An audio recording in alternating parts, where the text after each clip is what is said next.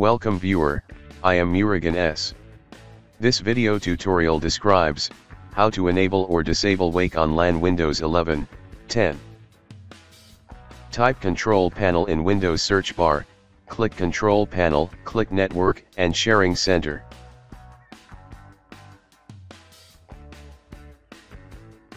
Click Change Adapter Settings. Right-click Connected Network Adapter, click Properties, click Configure.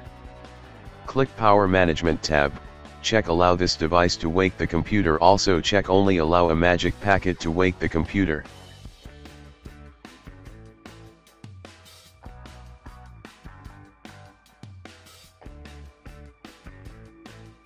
Right-click Connected Network Adapter, click Properties, click Configure.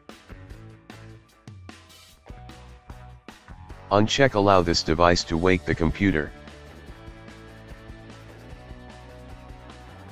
I hope this video tutorial helps to you, please like, share and don't forget to subscribe my channel, thank you very much, see you next video.